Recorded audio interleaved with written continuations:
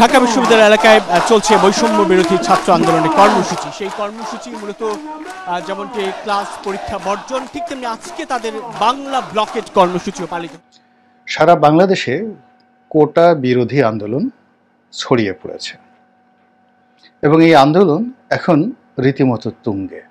সাত জানুয়ারি নির্বাচনের সার্কাসের মধ্য দিয়ে টানা তৃতীয়বারের মতো আওয়ামী লীগ ক্ষমতা দখল করেছে এবং এই নিয়ে টানা চতুর্থবার তারা ক্ষমতায় সাত জানুয়ারি নির্বাচনের পর সরকার গঠন করে। এই সরকারও পাঁচ বছর ক্ষমতায় টিকে থাকবার জন্য কি কি স্ট্র্যাটেজি হাতে নিয়েছে?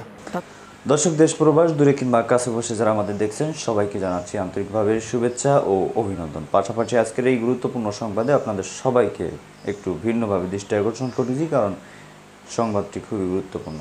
দর্শক, আপনারা জানেন, ইদানিং সময়ে কোটা বিরোধী আন্দোলনে শাহবাগীরা খুব খেপে গিয়েছে পুলিশের বিরুদ্ধে। পুলিশ এবং ছাত্রদের মধ্যে বিশাল একটা সংঘর্ষের সৃষ্টি হয়। সেই সংঘর্ষের ভিতর প্রধানমন্ত্রী শেখ হাসিনা তিনি সেই কোটাটা উঠিয়ে নিয়েছেন এমন একটা ঘোষণা তিনি দিয়েছেন। তো দর্শক, আমরা এ বিষয়ে বিস্তারিত জানতে মূল ভিডিওতে চলে যাব। আশা করি সঙ্গেই থাকবেন এবং এ বিষয়ে আপনাদের মন্তব্য কি অবশ্যই কমেন্টে জানাতে ভুলবেন। আসসালামু আলাইকুম রহমতুল্লাহি ওবরকাতুহ। সম্মানিত দর্শক, সারা বাংলাদেশে কোটা বিরোধী আন্দোলন ছড়িয়ে পড়েছে। এবং এই আন্দোলন এখন রীতিমতো তুঙ্গে। তুঙ্গে এই কারণে যে আমাদের সর্বোচ্চ আদালতে মানে অ্যাপিলেট ডিভিশনে, এই কোটা বিরোধী আন্দোলনকে দমানোর জন্য একটা কাউন্টার মানে হাইকোর্ট যে রায়টা দিয়েছে এই কোটা পদ্ধতি বহাল রাখার জন্য, ওটার বিরুদ্ধে আপিল করে আপাতত স্থগিত করে আন্দোলনটা দমন করার জন্য সরকারের পক্ষ থেকে চেষ্টা করা হয়েছে এবং অ্যাটর্নি জেনারেলের অফিস থেকে স্বয়ং অ্যাটর্নি জেনারেল একাধিকবার মাননীয় প্রধান বিচারপতির দৃষ্টি আকর্ষণ করেছেন। এবং আমি যে ভিডিওটি করছি আজকে শনিবার এবং সর্বশেষ যেদিন কোর্ট বসেছিল সেই দিন মাননীয় প্রধান বিচারপতি অনেকটা বিরক্ত হয়ে অ্যাটর্নি জেনারেলকে বলেছেন যে রাজপথের আন্দোলন বা রাজপথের স্লোগান দিয়ে তো আসলে কোর্টের সিদ্ধান্ত পরিবর্তন হবে না। কোর্ট তার আপন গতিতে তার কাজগুলো করবে। আমরা আজকে এই বিষয়ে শুনানি করব না। অনাগত দিনে এটি বিষয়ে শুনানি করব। তো কোর্ট এখানে যে বিষয়টি করেছে সেটা হলো আমাদের মহামান্য হাইকোর্ট একটা এই বিষয়ে যে প্রধানমন্ত্রী তার এক্সিকিউটিভ ক্ষমতা বলে পুরো কোটা পদ্ধতিটিকে বাতিল করে দিয়েছিলেন, সেটিকে আবার পুনর্বহাল করেছে। এবং সেটি নিয়ে আবার এই সময়টিতে সারা বাংলাদেশের পাবলিক বিশ্ববিদ্যালয়গুলো এবং কলেজগুলো, অন্যান্য শিক্ষা প্রতিষ্ঠানগুলো ক্রমান্বয়ে এই আন্দোলনে একেবারে নেতৃত্ববিহীন অবস্থায় সব ছাত্র এবং ছাত্রী ঝাঁপিয়ে পড়েছে। আগে যখন কোটা বিরোধী আন্দোলন হলো, এটা খুব জনপ্রিয়তা পেয়েছিল এবং এখান থেকে নুরুল হক নুরু বের হয়ে এলেন। আরও অনেকে এক ডজন নেতা বের হয়ে এসেছিলেন এবং যারা এখন ছাত্র অধিকার পরিষদ, তারপর গণ অধিকার পরিষদের মাধ্যমে জাতীয় রাজনীতিতে যারা একটি পাকাপোক্ত অবস্থান করে ফেলেছেন এবং ঠিক এই আন্দোলনের সুফলটাকে ঘরে তুলেই নুরুল হক নুরু ডাকসুর মতো একটি ঐতিহ্যবাহী প্রতিষ্ঠানের একেবারে নির্বাচিত ভিপি হয়ে গিয়েছিলেন সব কিছুকে টেক্কা দিয়ে। তো সেই কোটা বিরোধী আন্দোলন আবার তুঙ্গে উঠেছে এবং এটি আগের যে কোনো সময়ের চাইতে আরও বেশি ছড়িয়ে পড়েছে। কোর্টে যা কিছু হচ্ছে, তার বাইরে যেটি হচ্ছে, সেটি হলো সরকার সমর্থিত যে সংগঠন, ছাত্রলীগ, তারা সর্বশক্তি নিয়োগ করে এই আন্দোলন যেন না হয়, সে ব্যাপারে তারা চেষ্টা করছে। হল থেকে যেন ছাত্ররা বেরোতে না পারে, ছাত্রীরা যেন বেরোতে না পারে, এই ঘটনা আগেও ঘটেছিল এবং সেটা বুমেরাং হয়েছিল, কিন্তু এবার তারা আবার চেষ্টা করছে। এমনও পত্রিকাতে এসেছে যে এই কোটা বিরোধী আন্দোলনের সঙ্গে যারা সম্পৃক্ত, তারা যেন হলে থাকতে না পারে, হলে উঠতে না পারে। এরকম কথাবার্তা হচ্ছে যা কিনা আলটিমেটলি এই আন্দোলনকে আরও গতিশীল করে তুলবে এবং সরকারকে আরও বিব্রতকর করে তুলবে। দ্বিতীয়ত, এই আন্দোলনের সঙ্গে দেশের প্রধানতম রাজনৈতিক দলগুলো যারা আছেন, বিএনপি সহ অন্যান্য দল, তারা সবাই সমর্থন জানাচ্ছে। আর গোপনে যদি কারও কোনো মদত দেওয়ার সামর্থ্য থাকে, সেটা কিন্তু দেওয়া হচ্ছে। তৃতীয়ত, এটিকে অতীতের মতো পুলিশি কায়দায় মোকাবেলা করার জন্য সরকার চেষ্টা চালাচ্ছে। অর্থাৎ ধরপাকড় এবং এই আন্দোলনে যারা নেতৃস্থানীয় রয়েছেন, বিশেষ করে ছাত্রদলের অনেক যারা নেতৃবৃন্দ রয়েছেন, তাদেরকে গ্রেপ্তার করার জন্য খোঁজাখুঁজি করা হচ্ছে এবং ইতিমধ্যে বেশ কয়েকজনকে গ্রেপ্তার করা হয়েছে। তো আলটিমেটলি এটি কোথায় গিয়ে থামবে এবং এটি শেষ হয়ে যাবে কি না এটি নিয়ে সরকারের মধ্যে কি আলাপ আলোচনা হচ্ছে, সেটি বড় ব্যাপার নয়। বড় ব্যাপার হলো যে ঢাকা বিশ্ববিদ্যালয় সহ সারা বাংলাদেশের ছাত্ররা যখনই কোনো একটা দাবি নিয়ে রাস্তায় নেমেছে অতীতে, সেটি তারা আদায় না করে কিন্তু ঘরে ফিরেনি। তো এখানে আসলে এই কোটা বিরোধী যে আন্দোলনটা হয়েছে, সেটি আদালতের বিষয় হোক কিংবা সরকারের বিষয় হোক, যখনই বাংলাদেশের ইতিহাস হলো ছাত্ররা কোনো কিছু চেয়েছে, এমনকি মিলিটারি শাসকের বিরুদ্ধে চেয়েছে ওয়ান ইলেভেনের বিরুদ্ধে চেয়েছে, তখনই সেটি বাস্তবায়িত হয়েছে। এবং ছাত্রদের কোনো আন্দোলন আজ পর্যন্ত বৃথা যায়নি। এমনকি যে আমাদের দেশে যে কিশোর বিদ্রোহ হয়েছিল, স্কুলের যে ছেলেমেয়েরা যে রাস্তায় বের হয়েছিল ট্রাফিক আইন বাস্তবায়ন করার জন্য এবং তাদের একজন সহপাঠী নির্মমভাবে সেই রোড অ্যাক্সিডেন্টে মারা যাওয়ার পর এক ছাত্রী যেভাবে একেবারে স্কুলের ছেলেমেয়েরা রাস্তায় নেমে এসেছিল, সেটাও কিন্তু বাংলাদেশে একটা ইতিহাস গড়েছে এবং রীতিমতো প্রশাসনকে কাঁপিয়ে ছেড়েছিল। তো সেই তুলনায় এখন যে কোটা বিরোধী আন্দোলন, সেই কোটা বিরোধী আন্দোলনটা অতীতের যে কোনো সময়ের চেয়ে বেশ কয়েকগুণ শক্তিমত্তা নিয়ে রাজপথে এটি বিস্ফোরিত হবে। প্রথম কারণ হলো যে একই সঙ্গে পাবলিক বিশ্ববিদ্যালয়ের যারা শিক্ষক রয়েছেন সারা বাংলাদেশে, তারা পেনশন স্কিম নিয়ে রাস্তায় নেমেছেন। এরপর দুর্নীতি বিরোধী অভিযান চলছে। দুর্নীতি দমন কমিশন সর্বোচ্চ শক্তি নিয়ে মাঠে নেমেছে। এবং এর ফলে বেশ কয়েকটি গুরুত্বপূর্ণ সরকারি প্রতিষ্ঠান, জাতীয় রাজস্ব বোর্ড, পুলিশ থেকে শুরু করে আরও অনেকগুলো প্রতিষ্ঠান যেখানে খুব অহরহ দুর্নীতি হয়, সেখানে রীতিমতো প্যানিক ছড়িয়ে পড়েছে। এরপর আরেকটি সমস্যা, সেটি হলো আমাদের এক্সপোর্টের যে হিসেব, সেই হিসেবের মধ্যে চোদ্দ বিলিয়ন ডলার, প্রায় দেড় লক্ষ কোটি টাকার গরমিল মানে যেভাবে এক্সপোর্ট প্রমোশন ব্যুরো হিসাব দেখাচ্ছিল যে আমাদের এত এক্সপোর্ট হয়েছে। যেভাবে জাতীয় রাজস্ব বোর্ড হিসাব দিয়েছিল, যেভাবে বাংলাদেশ ব্যাংক হিসাব দিয়েছিল, এই তিনটি প্রতিষ্ঠানের যে সম্মিলিত হিসাব, এটা অনেকটা ধামাচাপার মতো এক্সপোর্টকে ফুলিয়ে ফাঁপিয়ে তুলে ধরে যে হিসাবগুলো তুলে ধরা হয়েছিল জাতির সামনে যেমন আমাদের জিডিপি আমাদের ফরেন রিজার্ভ আমাদের পার ক্যাপিটা ইনকাম এই সব কিছু এখন আইএমএফের চাপে এই যে চোদ্দ বিলিয়ন ডলার কম এক্সপোর্ট হয়েছে, এটি যখন ওপেন হয়ে গেল, ফলে কি হলো?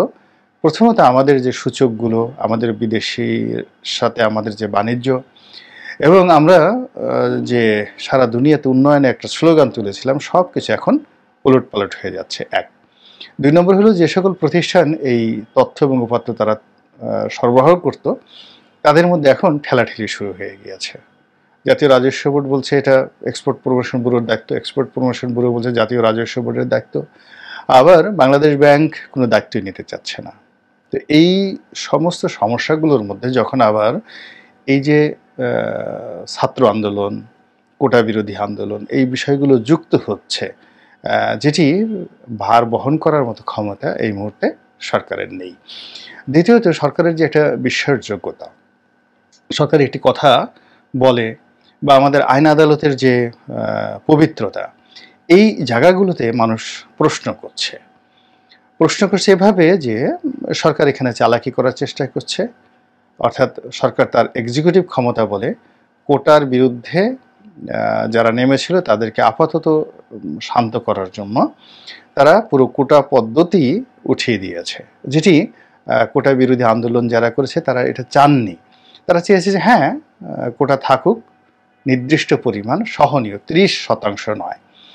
সেখানে আনুপাতিক হারে যারা পিছিয়ে পড়া জনগোষ্ঠী রয়েছে, নারী রয়েছেন, পঙ্গু রয়েছেন তারপর শেষে আরও অনেক যাদের আসলে কোটা থাকা উচিত। এই বিষয়গুলো তারা চেয়েছিলেন। কিন্তু প্রধানমন্ত্রী একেবারে পুরো কোটা পদ্ধতি উঠিয়ে দিয়েছেন এবং তা সঙ্গতির কারণে যখন হাইকোর্টে এসছে, হাইকোর্ট তো দেখল যে না, আসলে পৃথিবীর সব দেশেই কোটা থাকে। এবং এইভাবে যারা কোটা বিরোধী আন্দোলন করেছিল, তাদেরও এই দাবি দেওয়া ছিল না। ফলে তারা আবার যে যে কোটা পদ্ধতি চালু করে দিল হাইকোর্ট, এখন এখানে হাইকোর্ট আসলে পূর্ণাঙ্গ রায় কি দিয়েছে? কত শতাংশ কোটা থাকবে মুক্তিযোদ্ধাদের জন্য? কত শতাংশ থাকবে মানে যারা মানসিকভাবে বিকলাঙ্গ, শারীরিকভাবে বিকলাঙ্গ, কিংবা কত শতাংশ কোটা থাকবে যারা পিছিয়ে পড়া জনগোষ্ঠী রয়েছে তাদের জন্য? এই বিষয়গুলো এখনও স্পষ্ট হয়নি। কিন্তু যে সংবাদটি বা যে গুজবটি সকলের মধ্যে পৌঁছে গেছে সেটি হলো যে আইন আদালত এখন সরকারের পরিপূরক। সরকার যা চায় আইন আদালত আসলে ওভাবেই অনেক কিছু করে। এর ফলে কি হচ্ছে, এই আবার রীতিমতো রাজপথ উত্তাল হয়ে পড়েছে। এখন এই জায়গাগুলোকে বন্ধ করার জন্য বা এটিকে নেগোসিয়েট করার জন্য যে ধরনের রাজনৈতিক পরিপক্কতা দরকার, যে ধরনের রাজনৈতিক ব্যক্তিত্ব দরকার, যে বিশ্বাসযোগ্যতা দরকার, বা আমাদের বিচার অঙ্গনের যে ট্রান্সপারেন্সি দরকার, সুশাসনের যে ইতিহাস দরকার, কোনো জিনিসগুলোই আসলে আমাদের সাধারণ যারা ছাত্রছাত্রী, আন্দোলনকারী রয়েছেন, তাদেরকে আশ্বস্ত করতে পারছে না। ফলে এটি ছড়িয়ে পড়েছে এবং আন্দোলন ক্রমশ তুঙ্গে চলে যাচ্ছে। এবং সরকার এখানে যত বেশি শক্তি প্রয়োগ করবে, যত বেশি চালাকি করার চেষ্টা করবে, তত বেশি ক্ষতি হবে। এবং এই সময়টাতে যেটি দরকার সেটি হলো রাজনৈতিক সমঝোতা, রাজনৈতিক প্রজ্ঞা এবং সরকারের মধ্যে যদি কেউ থাকেন যার বিশ্বাসযোগ্যতা রয়েছে, তারা যদি ছাত্রদের সঙ্গে কথা বলেন, এখন ধরুন সাবির হোসেন চৌধুরী ওয়াদুল কাদের সাহেবকে দেওয়া হবে না। সাবির হোসেন চৌধুরী যদি আসেন প্রধানমন্ত্রীর প্রতিনিধি রূপে যদি ব্যারিস্টার সুমনকে পাঠানো হয়, কিংবা ওই যে স্বতন্ত্র সংসদ সদস্য জনাব একে আজাদ ওনাকে পাঠানো হয়, এরকম তিন, চারজন আছেন, তার সঙ্গে যদি শিক্ষামন্ত্রী থাকেন নফেল সাহেব থাকেন, যাদের একটা ইমেজ এখনও পর্যন্ত আছে। তো তারা যদি প্রধানমন্ত্রীর কাছ থেকে দায়িত্বপ্রাপ্ত হয়ে এই আন্দোলনরত পক্ষ যারা আছেন, তাদের সঙ্গে কথাবার্তা বলেন, তাহলে হয়তো পরিস্থিতিটা ইতিবাচক দিকে মোড় নেবে। অন্যথায় এটি সরকারের জন্য যে কোনো পরিণতি যে কোনো ভয়াবহ পরিণতি ডেকে নিয়ে আসতে পারে, যা কিনা আমাদের কারোর জন্যই কল্যাণকর হবে না। আল্লাহ আমাদের সবাইকে হেদায়ত দান করুন সুস্থ রাখুন এবং অতীত থেকে শিক্ষা গ্রহণ করে অনাগত দিনে একটি সুসংবদ্ধ এবং একটি সুন্দর জাতি গঠনের সৈনিক হিসেবে আমরা সবাই কাজ করতে পারি। আল্লাহ যেন সাত জানুয়ারি নির্বাচনের সার্কাসের মধ্য দিয়ে টানা তৃতীয়বারের মতো আওয়ামী লীগ ক্ষমতা দখল করেছে এবং এই নিয়ে টানা চতুর্থবার তারা ক্ষমতায়। সাত জানুয়ারি নির্বাচনের পর সরকার গঠন করে। এই সরকারও পাঁচ বছর ক্ষমতায় টিকে থাকবার জন্য কি কি স্ট্র্যাটেজি হাতে নিয়েছে, তাদের পুরো গেম প্ল্যানটা কি, এটা আমাদের বোঝা খুব জরুরি। এক এক সময় এই সরকার এক এক শক্তির হাত ধরে ক্ষমতায় টিকে থেকেছে। তারা কখনো চীনের শরণাপন্ন হয়েছে, কখনো ভারতের শরণাপন্ন হয়েছে এবং কখনো তাদের উপরে আন্তর্জাতিক চাপ, বিশেষ করে পশ্চিমা বিশ্বের চাপ যখন এসছে, তখন সেগুলোকে মোকাবেলা করবার জন্য চীন রাশা কখনো ভারতের শরণাপন্ন হয়েছে এবং তাদের সহযোগিতায় ক্ষমতা ধরে রেখেছে। এক এক সময় এই শক্তিগুলোকে বিভিন্ন ধরনের সুযোগ সুবিধা তারা দিয়েছে। অবশ্যই বলতে হবে, অনৈতিক সুযোগ সুবিধা। কারণ যেহেতু অবৈধভাবে সে ক্ষমতায় টিকে থাকতে চেয়েছে, ফলে অনৈতিক সুযোগ সুবিধা তাকে দেশের মধ্যে যেমন দিতে হয়েছে, তার অলিগারদের দিতে হয়েছে, সরকারের সাথে সংশ্লিষ্ট ব্যক্তিদের দিতে হয়েছে, বিভিন্ন আইন শৃঙ্খলা রক্ষাকারী বাহিনীর সদস্য এবং তাদের প্রধানদেরকে দিতে হয়েছে সেগুলো প্রমাণ তো এখন আমাদের সামনেই আসছে। একইভাবে যে শক্তিগুলো, আন্তর্জাতিক যে শক্তিগুলোকে ব্যবহার করে তার ক্ষমতায় টিকে থেকেছে, তাদেরকেও নানান সুযোগ সুবিধা দিতে হয়েছে, যেখানে দেশের স্বার্থের কথা এই সরকার কখনোই ভাবেনি। কিন্তু এইভাবে ক্ষমতায় তারা টিকে ছিল এবার সরকার গঠন করে তারা ক্ষমতায় টিকে থাকবার জন্য কোন শক্তিকে কীভাবে ব্যবহার করতে চাইছে? এই যে নতুন করে একটা শুদ্ধি অভিযানের কথা বলা হচ্ছে, দুর্নীতির বিরুদ্ধে একটা অবস্থানের কথা বলা হচ্ছে, এটাই আসলে কি? এই পুরো স্ট্র্যাটেজিটা আমাদের একটু ভালো করে বোঝা দরকার। কারণ স্ট্র্যাটেজিটা যদি আমরা বুঝতে না পারি, তাহলে লড়াইটা সঠিকভাবে করা যাবে না এবং গণতান্ত্রিক এই লড়াই জেতা যাবে না। আরেকটা কথা বলে রাখা ভালো। কয়েকদিন আগে ভারতের লোকসভা নির্বাচন হয়ে গেল, বিজেপি আবারও ক্ষমতা এসছে, কিন্তু তারা চারশোর বেশি আসন নিয়ে লোকসভায় যেতে চেয়েছিল, কিন্তু সেটা হয়নি। বিরোধীরা যেটা বলছিল, এবার যদি নরেন্দ্র মোদীর দল বিজেপি চারশোর বেশি আসন কিংবা সংখ্যাগরিষ্ঠ আসন নিয়ে, বিজেপি নিজেই জোট ছাড়াই সংখ্যাগরিষ্ঠ আসন নিয়ে যদি লোকসভায় যায়, তাহলে তারা সংবিধান পরিবর্তন করে ফেলবে। সুতরাং সংবিধান বাঁচানোর জন্য, দেশের সংবিধান, দেশের অস্তিত্বকে বাঁচানোর জন্য এবার বিজেপিকে ঠেকাতে হবে। এটা তাদের মূল স্লোগান ছিল। এবং এর মধ্য দিয়ে তারা ক্ষমতায় যেতে না পারলেও একক সংখ্যাগরিষ্ঠ দল হিসেবে বিজেপি লোকসভার নির্বাচনে জিততে পারেনি। সে দেশে এখনও নির্বাচন ব্যবস্থাটা আছে, জনগণ ভোট দিতে পারে এবং ভোটের মাধ্যমেই সেখানে সরকার গঠিত হয়। ফলে বিরোধীরা ঠেকাতে পেরেছে। বাংলাদেশ থেকে তো ভোট ব্যবস্থাটাই উঠে গেছে, দেশে কোনো নির্বাচন ব্যবস্থা নাই। ফলে এখানে ভারতের সাথে তুলনা করে কোনো লাভ নেই। কিংবা আমরা মলদ্বীপসের সাথে অনেক সময় তুলনা করি, মলদ্বীপসে মুইজো যেভাবে ভারত বিরোধী একটা অবস্থান নিয়ে নির্বাচনে জিতে এসছেন। মলদ্বীপসের নির্বাচন ব্যবস্থাটা আছে, ফলে সেখানে মুইজু পপুলার একটা সেন্টিমেন্টকে ব্যবহার করে জনগণের আস্থা অর্জন করেছে এবং নির্বাচনের মধ্য দিয়ে জয়লাভ করেছে। কিন্তু বাংলাদেশের নির্বাচন ব্যবস্থাটাই নাই। যে কারণে ভারতের লোকসভা নির্বাচনের কথা বলছিলাম। এই দফায় দু হাজার চব্বিশ সালের সাত জানুয়ারি নির্বাচনের মধ্য দিয়ে আওয়ামী লীগ যে সরকার গঠন করল বা ক্ষমতা দখল করল, এই দফায় যদি পাঁচ বছর আওয়ামী লীগ ক্ষমতায় টিকে যায়, তাহলে দেশ থেকে গণতান্ত্রিক ব্যবস্থা পুরোপুরিভাবে তারা ধ্বংস করে ফেলবে। এই দেশে গণতন্ত্র, মানবাধিকার এগুলোর কোনো অস্তিত্বই আসলে থাকবে না।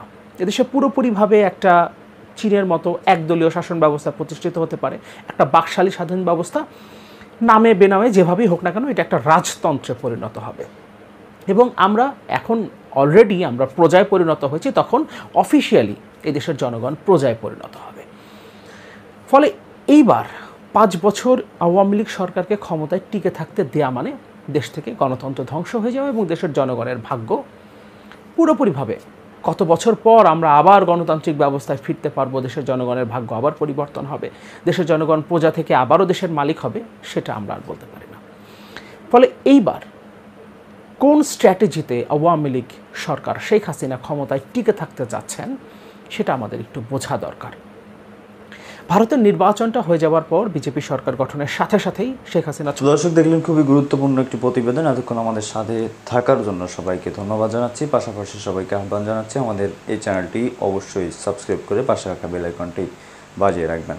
দর্শক, ইদানিং সময় বাংলাদেশে যে কোটা বিরোধী আন্দোলন চালু হয়েছে এই বিষয়ে আপনি কি বলতে চান? এই কোটা জিনিসটা কি থাকবে নাকি উঠে যাবে?